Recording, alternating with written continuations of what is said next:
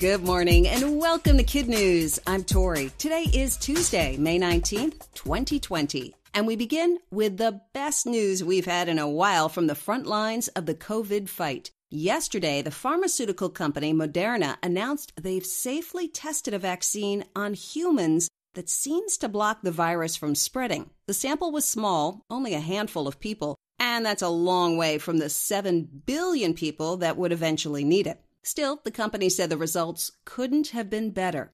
Getting a vaccine in the pipeline is key to reopening schools and businesses, so Wall Street was particularly excited by the report. By the close yesterday, the stocks that make up the Dow Jones were up more than 900 points. Vaccine or no, we have to let it go. The Broadway show, based on Disney's blockbuster hit Frozen, has just become the first major production to get canceled permanently.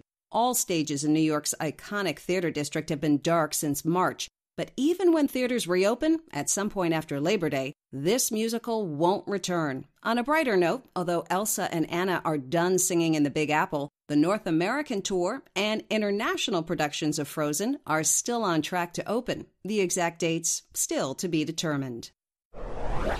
Sports fans have a couple reasons to cheer. On Sunday, NASCAR held its first comeback race at Darlington Raceway in South Carolina and named it the Real Heroes 400 in honor of frontline workers. Veteran driver Kevin Harvick picked up the win in front of empty stands, but about 900 personnel were present who all went through medical screenings. And across the Atlantic, Germany's soccer league is back on the pitch. Each player from the 18 teams will be tested at least once a week and will be required to wear a mask when on the sidelines. There will be no hugging, no handshakes, and no fans allowed.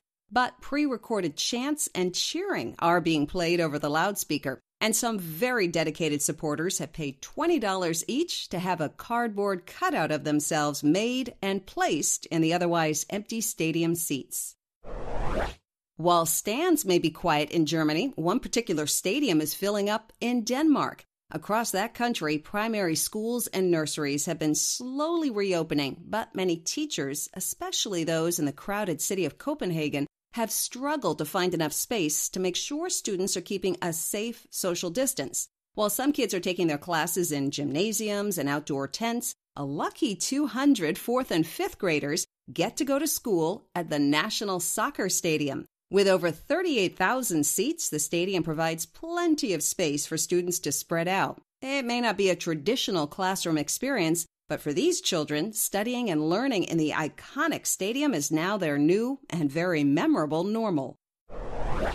Summer travel plans have been seriously upended by COVID 19, but that doesn't necessarily mean everyone has to be stuck at home. Some adventuresome folk are turning to an ideal travel mode for this situation the RV. According to the Wall Street Journal, some rental companies report that daily bookings for recreational vehicles are up as much as 600%. The size and pricing run the gamut from a short trailer you attach to the back of your own car to a 45 foot land yacht with three beds, hot showers, DirecTV, Wi Fi, and even a sub zero fridge.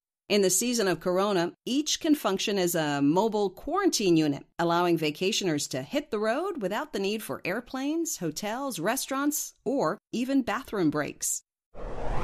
That's it for KidNuz. A quick reminder that a tax deductible donation to produce this podcast of kid friendly news is greatly appreciated and can easily be done on our website, www.kidnuz.org. Now, the KidNuz Quiz. What is the first Broadway play to get permanently canceled?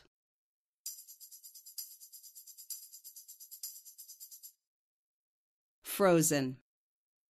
Which two sports have resumed play but without fans present?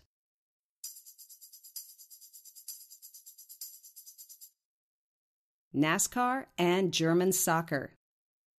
Where are some students going for school in Copenhagen?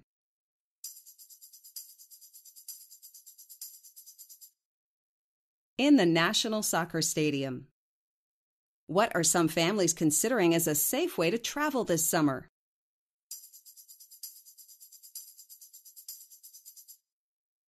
Renting a recreational vehicle or RV.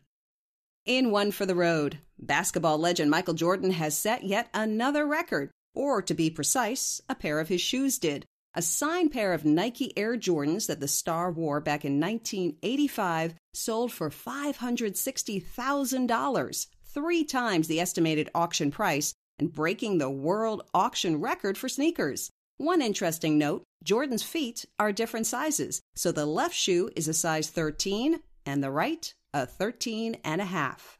Before we go, our KidNuz birthday shoutouts go to Vivian in Chicago, Illinois, Adrian in Lithia, Florida, in California, Kylie in Danville, and Cassie in Daly City, and Thomas in Madrid, Spain, or maybe I should say, Feliz cumpleaños.